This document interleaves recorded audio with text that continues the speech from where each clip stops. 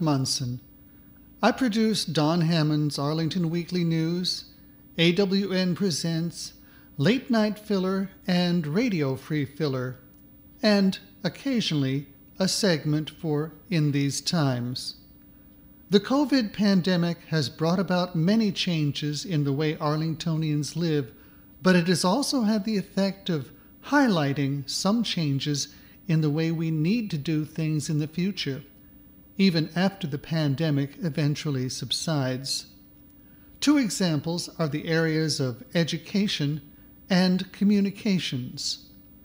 With the implementation of the virtual classroom, the Arlington Public School System has made an effort to continue the education of our younger residents. However, access to these virtual classes has been uneven. Students in homes with poor or non existent internet access were considerably handicapped, and centralized Wi Fi hotspots provided only partial relief. With respect to communications, it was necessary to keep Arlingtonians of all ages up to date on the latest dates, times, and locations for both COVID testing and vaccination. Once again, occupants of homes with inferior access suffered, sometimes not hearing about a pop up testing event until it was too late. In the future, it seems likely that the need for swift communication will continue, for there are other potentially catastrophic events other than COVID, some of them related to blizzards, heavy rains, tornadoes, and other weather hazards. Traffic accidents, chemical spills, and building fires also require that Arlingtonians be promptly informed. Now and then, there are even good news items or special events that residents want to know about. We are fortunate to have with us an advocate for the improvement of the online communications we need and will continue to need in the future. His name is Tim Dempsey, and I'll turn the microphone over to him now. Um, so my name is Tim Dempsey. I'm an Arlington resident of, uh, I think, uh, see, I moved here in 2011, so 10 years now almost. Uh, I have um, been active in Arlington politics for, for quite a while, and uh, mostly kind of centered on uh, these kind of community projects. But um, in short, uh, the group that I'm representing right now is Arlington, Arlington Fiber, ARLfiber, as we tend to call ourselves. Um, we started as a group, or we started organizing as a group about three years ago, two or three years ago, and our uh, we had been looking to do some economic development projects in South Arlington, uh, based on based on just some statistics and reports we had read coming out of the county and some other uh, some other nonprofit groups, uh, you know, looking at various social indicators, um, and especially in places like 22204. And uh, one of my collaborators, uh, Detta Kissel, uh, she had been doing a lot of work doing voter registration in the uh, in the um, affordable housing um, uh, complexes uh, in this area, and she's also very interested in economic development projects there. So know, we had been looking initially at uh, doing some things like co-ops, uh, and then uh, to not give you know go too deep into all the history, but we we had found out um, based on some inter- some interactions with some other people who had working in the broadband space for Arlington that actually advising the county on using their dark fiber uh, network. So Arlington has uh, an existing what's called dark fiber network. It's uh, it, it's basically it's a public network that they use for public buildings, the schools, community centers, uh, you know, for their internal government operations. but they also have a lot of fiber optic um, lines that are dark um, and uh, that are not lit by equipment, basically. That would you know that would convey a, a signal to, that would provide know, data data. Uh, so we had found out that they have the, you know an abundance of this dark fiber, uh, and they were looking to actually lease it, but had not been very successful in it. So um, kind of long story short, our idea had been, well, what if you know we know that there's based on the, some of the reports we've seen from the county that they had estimated something like 10% um, or more of the county, uh, particularly in this area, um, households did not have access to, to internet at home. Uh, and so we had this idea that we would maybe try to form um, a kind of broadband cooperative that would lease this fiber and, and provide kind of low cost, high quality, high speed service to some of these areas, um, particularly some of these buildings. Uh, so that's how we had kind of started out uh, a few years ago. But then uh, as um, you know, we you know, we started organizing. We started going into the buildings and going door to door to gather survey information, people's current uh, internet usage was, and you know who, who, they if they if they had internet and what kind of internet they were using, and what basically what their needs were. Uh, and that was kind of ongoing. And then uh, the pandemic hit, and you know we saw everything kind of shut down. Uh, everything was moving online and we knew that this, you know, we knew based on our work that this was going to set up a major crisis, and that you know became pretty clear to um, the news reading public as well.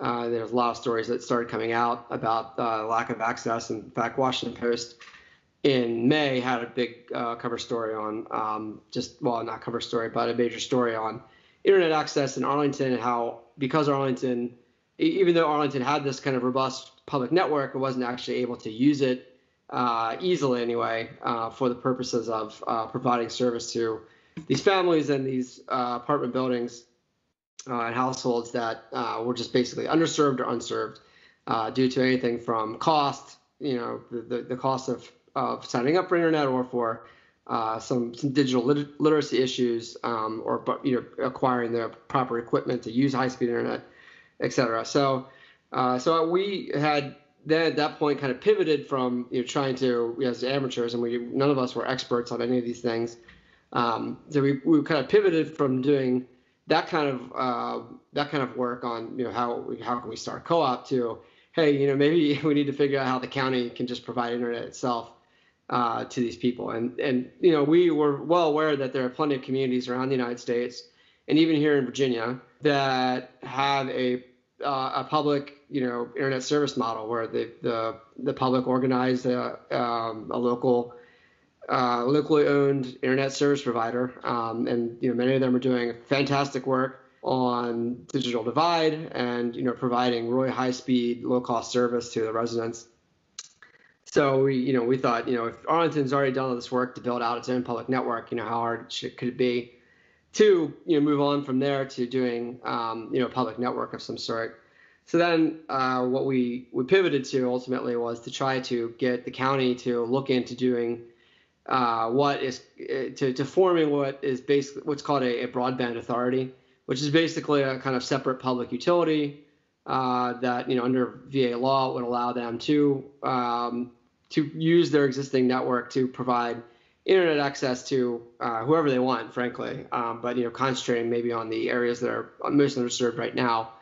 Uh, so then we we we hooked up with some other groups that were doing um, digital equity access work uh, here in the county. There's a particular group called um, Abuelitas, uh, which is a group of retired teachers that had been working with English language learners uh, to try to help them uh, through the pandemic. And you know, these teachers said, you know, these families don't have access at home, and that's just a tragedy because you know we have to work with these kids on WhatsApp on a phone that you know doesn't have unlimited data plan, and just it's just a nightmare. So you know, they really believed in this kind of work. So we teamed up with them, and we've kind of made other, other allies as we've gone along. But that that was the kind of common core of the group. And so uh, what we've been doing is just agitating for the board to, to look into this option of, of creating what's called this broadband authority uh, which once again is a, a, public service authority. You know, and, and, under Virginia law and under many state laws, generally this is the way you form lots of utilities. That's basically what you form what's called an authority. Uh, Virginia created this particular authority back in the, the, the 2000s, early 2000s. a number of, of localities have already um, availed themselves of it. Uh, Roanoke Broadband Authority is one. Um, the Eastern Shore of Virginia Broadband Authority is another. Uh, and there's uh, some newer ones forming now. They're all looking to, to basically provide, um, you know, a, a, public option for broadband service in, in their respective localities. I mean, mostly because they're not being served by the kind of for-profit uh, corporate, uh, you know, telecoms. Um, that you generally have you know the their modus operandi has generally been to, to kind of cherry pick they move into areas where there's high density and um, you know or they're higher paying customers and that's where they concentrate most of their service so like you know uh, it, it, and you know they're generally not in any way incentivized to provide service at a, at a cost that you know working class lower class people can afford um, so this is a problem. This is nationally recognized as a problem now, and you see this in the, um, you know, the, the President Biden's uh, about to roll out or wants to roll out an infrastructure plan where they address these things pretty much head on and said that the, the for-profit telecom networks like Comcast, Verizon, just not have failed to to provide service, provide internet as a utility, um, and you know, so we we definitely need to uh, start providing more funding and opportunities for uh, local governments for um, you know, in, in, Virginia right now, the electric cooperatives are now heavily getting involved in broadband, providing fiber broadband to their electric customers. Um, you know, so co-ops, municipal governments, uh, nonprofits, whoever is willing to kind of really just build these networks on a non-discriminatory basis and just try to provide service to everyone. Uh, once again, at a cost that that it, that makes that's affordable to them, and and and and so frankly, the um, the way this this has been moving now is that we've we've kind of gotten uh, the county boards, um, our own county boards, uh, attention now, um, pointing to some of these other models that are out there just in Virginia alone. Um, Alexandria, for instance, their uh, Information Technology Commission just advised their uh, county, their city council and mayor to form a broadband authority because they're looking to build a public network of their own. Um, they've actually been kind of covetously viewing Arlington's public network for, for quite a while and have been looking to try to build their own. But um, you know the difference between Arlington and Alexandria would be that if Alexandria forms a broadband authority um, and to, to build that public network, they would then be able to uh, provide service to private customers. And Arlington unfortunately formed its broadband, uh, its, it, it, built its internet network um, based on a different part of the law. So they they cannot legally at this point without a broad, without forming a separate broadband authority, they cannot use the existing public network to hook up private subscribers. Um, so that that's why that's what the the necessity of a broadband authority would be. Um, so all that said is that um, through our lobbying and through our kind of consciousness building, um, we have gotten the county board uh, to acquiesce. And in the latest budget, they have now passed, um, they included uh, about $50,000 to do a uh, feasibility study, which will look at uh, the ins and outs of setting up an authority and then using it in particular to uh, to start building a, a, a, a public option of, of fiber to the home uh, internet service um, you know, to anyone who wants it here in the county. Uh, so uh, so that generally um, uh, is about as probably as pithily as I can sum up the situation and kind of our history and our efforts uh, as of to date. But uh, know if you want to intervene now with uh, with questions. Um, I know that it's a lot to take in, so I'll I'll go quiet for a second. Actually, I've got quite a lot of background on this personally. I grew up in 22204 uh, spent my elementary school years there and early part of uh, what they were calling junior high in those days. And then later, as an adult, I bought a part of a house and was living down in 22204. And the discrepancies between the way the northern zip codes were treated and those zip codes is well known right on down to which high schools got the best tools for their shop classes. Mm. Uh, also, having had uh, a lot of involvement with the public access station for the past 40 years, Arlington has a funny idea about the word public. My thinking, well, back in 1980, when they were setting up the public access, was the idea uh, that there would be this facility for individual people to broadcast whatever programming or whatever editorializing they wanted to. And public, you have public schools and you have public parks. And public parks you can just go to generally in Arlington. You don't pay an admission fee. And public schools, generally in Arlington, uh, you go and, or your children go, and they don't pay a fee to attend. But for public access, they don't make it so easy. In fact, they require that the cable companies pony up the money to fund a large part of the so called public access station. And along these lines, I kind of wonder if, especially with the pandemic where so much of so called public schools had to be online, shouldn't broadband access be as free as the public schools. Would you care to respond to that? right. I mean, you know, in, in ideal world, like I, I totally agree with you. I mean, I, not even ideal world. I, I, think that is a world we need to move towards. Um, the the it's become very clear, obviously. I mean, as you uh, you know, to, to kind of parrot what you just said, it's become clear that this is a, a vital public utility. Um, you know, this is as important as having electricity or water. Um, you know, we we do not. Uh, you know, I, well, I, would like to say that you know, few people would think that it's a smart idea to to turn over, for instance, the water utility to a for-profit company. Although places have done that, and then and then quickly taken that away.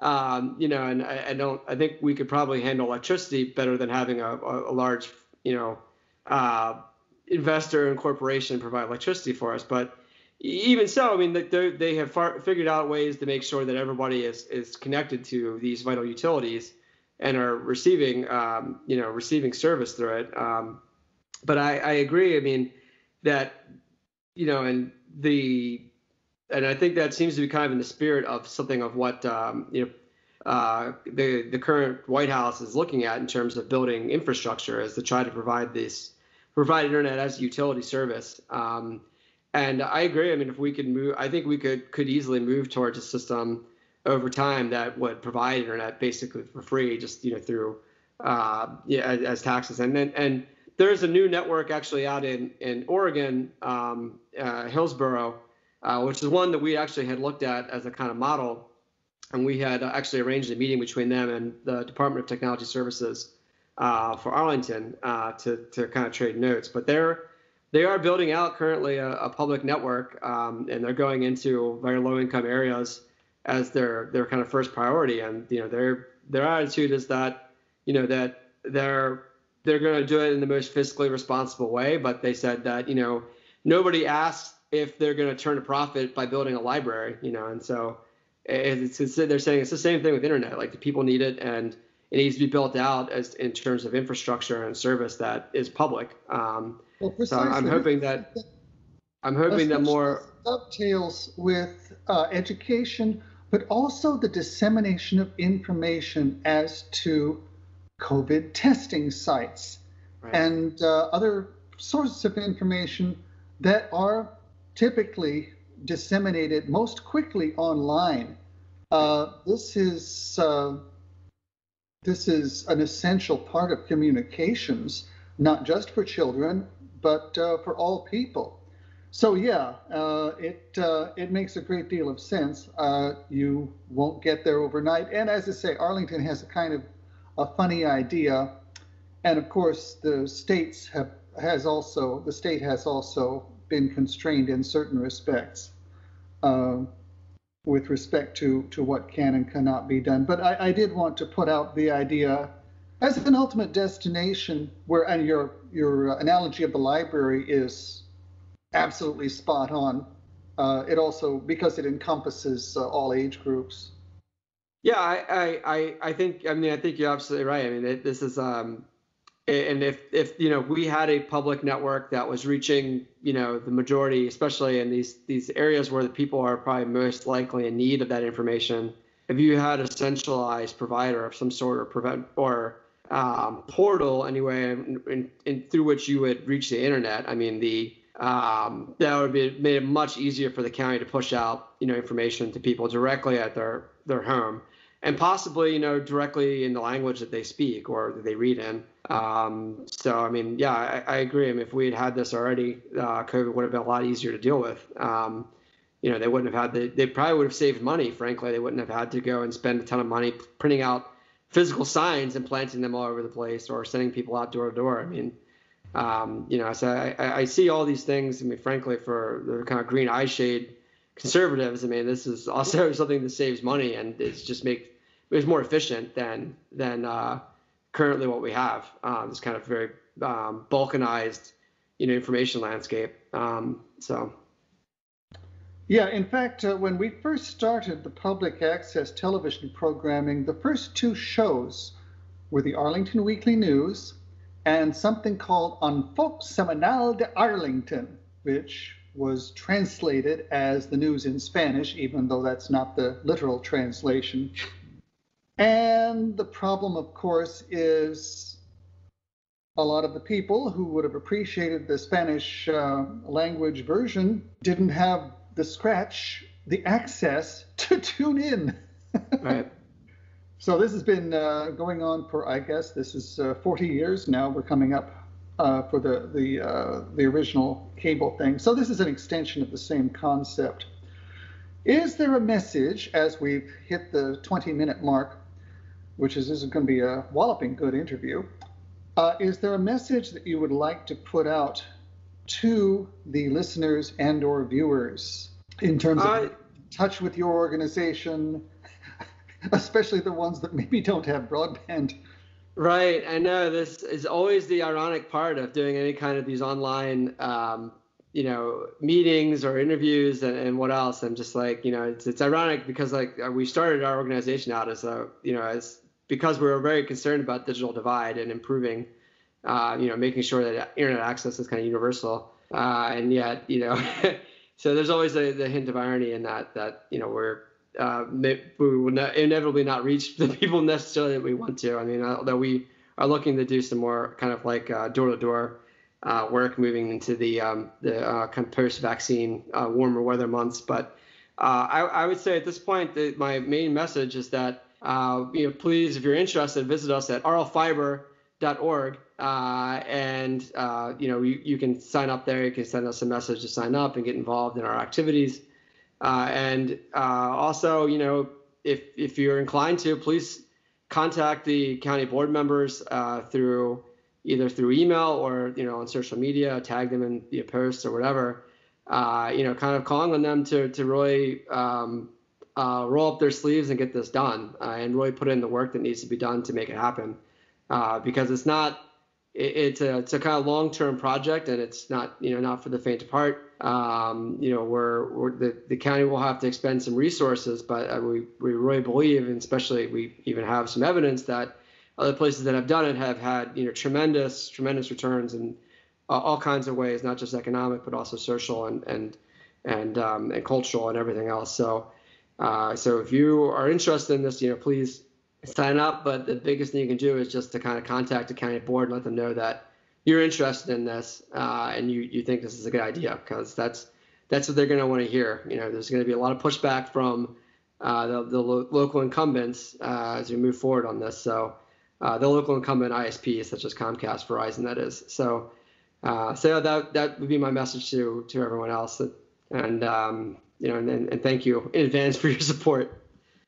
There's a very good uh, line on your website that says, Learn more about our vision and our campaign by reading our Arlington Broadband Authority FAQ. And that can be found on the, uh, the website. And so that would be uh, a good place also uh, for people to crank up their questions for the board. All right.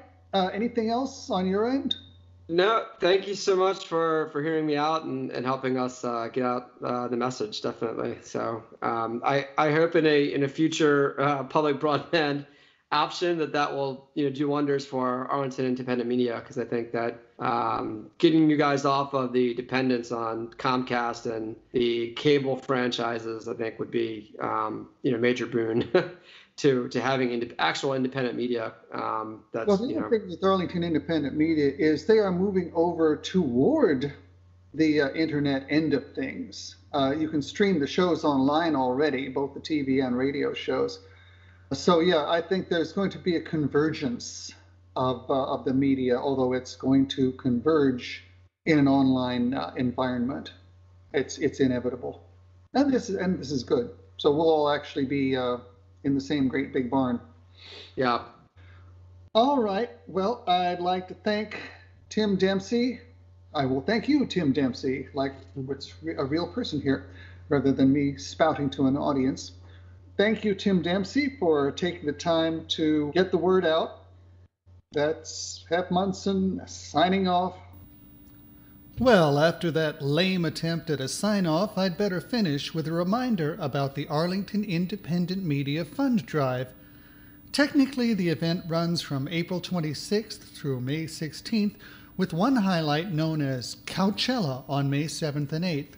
You can get the details on either WERA.fm or arlingtonmedia.org.